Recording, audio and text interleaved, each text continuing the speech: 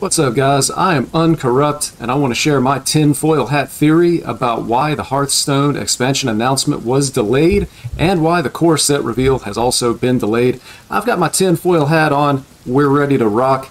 Taking a look here as we go back looking at Twitter, on March 7th, the Play Hearthstone account tweeted out a calendar for upcoming events, and you can see right here, March 15th, we're expecting the expansion reveal, and everybody was also expecting that the core set was going to be revealed on Tuesday, March 15th.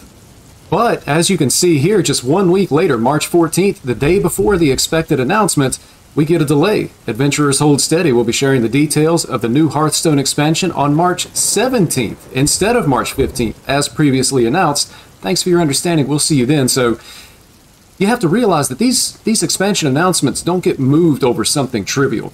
They had a lot of planning and a lot of resources dedicated to this reveal coming out on the 15th. And then they push it back to the 17th. And this is just like bad for business. You think it hurts the average player. The average player is expecting an announcement hey, I'm ready for new cards. I want to find out what's going on. That kills hype for that average player.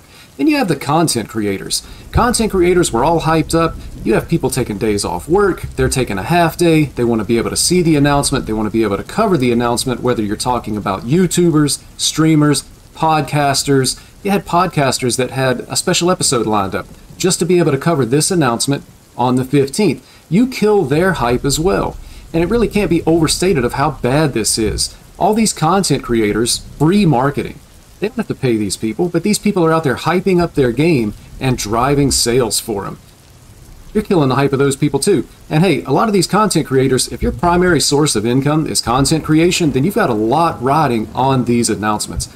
As an example of this, we're going to take a look at Vicious Syndicate. Vicious Syndicate, of course, is one of the most influential publications within the Hearthstone community, having a big effect on shaping the Hearthstone meta. And here we have founder and head of Vicious Syndicate Data Reaper Report Project, Zach, reacting to this announcement. Heads up, our rotation announcement will come a bit later than usual. And then we go on to find out that April 5th, there's going to be a final dump of cards that have yet to be revealed for the new expansion. With that last reveal, we'll share the name of the next Hearthstone year roadmap and this year's updates to the core set. So the core set has actually been delayed until just before the new Hearthstone year starts.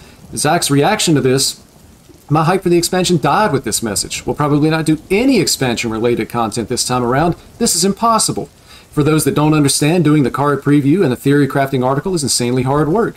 This basically means I have five days to produce everything while knowing very little before I start any work. Never had this brutal of a window. It's impossible. So you can see here, content creators are just being crushed by the delays of the announcements. This is not a small thing. So what could possibly cause Blizzard to delay the announcement by this much? For the developers, they're always concerned about the health of the game and especially the long term health of the game.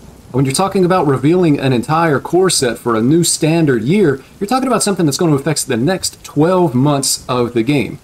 So I want to take a look here at some of the data that we can find on the Vicious Syndicate website.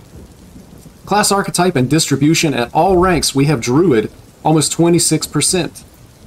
Diamond 1 to Diamond 4, Druid 32.3%. At Legend, Druid spiking to 35.5. Top 1K Legend, Druid represents 41% of the meta. Now, of course, nobody has all the data that Blizzard has. Blizzard is continuously collecting data from games played, cards played, card played win percentage, so on and so forth. Everything you can think of, they're tracking it. And as a developer, when you look at this and say, wow, at the top end of our game, you know, 40% is Druid, that's just bad for the health of the game. That's not a sign of a healthy game, and it's probably going to end up driving away players at some point. Again, these aren't the stats that Blizzard has, but it's a ballpark enough figure that you could say, well, what if the actual number is 35%? That's still unacceptable. But what if that actual number is 45, 50, or even 55% of the meta is actually druids? That's insane. And we've had recent precedent of Blizzard actually making changes because of a class being overrepresented in play rate. We don't have to look any farther back than the most recent rogue nerfs. You had Poison Rogue and Burgle Rogue being played at a level that was just disproportionate to the other classes in the rest of the game. And so, for the health of the game, you have to make balance changes. And by looking at these figures, Druid is actually more of an outlier than Rogue was, not necessarily in terms of power level, but in terms of play rate. One of the beliefs in the community is that after the core set rotation, Ramp Druid would no longer see as much play as it does because the deck would just be bad. With so many of Ramp Druid's ramping cards either being part of the core set or due for rotation, people just assumed that it was going to go away. But what if the new core set were going to include cards from the previous core set as well? Or what if some of the cards from the previous standard year were going to be part of the new standard Hearthstone core set? That would mean that if cards like Lightning Bloom and Overgrowth that people were expecting to just be gone and unplayable in Standard were actually still going to be around, then Ramp Druid could be played at a 50% level at the beginning of a new Hearthstone year.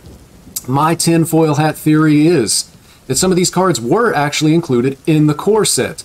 And as the developers began to get more information about play rates and realized that something was going to have to be done about Druid, they actually pulled the core set and had to take a look at the Druid specific cards, and they were going to have to rework it.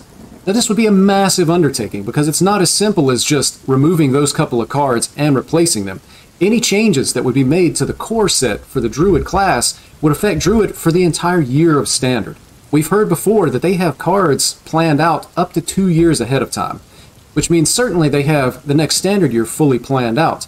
And if you start tinkering with the core set of any given class, it's going to affect the entire year of that class. And so my tinfoil hat theory is that they are re-examining the core set and the first, second, and third expansion of the new Hearthstone standard year because they're going to have to go back and make some changes. Otherwise, Druid's going to be out of control, or they're going to be making balance changes to old cards within the first week to two weeks of the new Hearthstone standard year, which again is just going to be an outright bummer.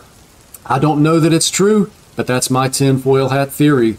I'm Uncorrupt. For more Hearthstone related content, don't forget to subscribe to the channel. Also, if you enjoyed the video, please drop a like. Thank you. Good luck out on the ladder.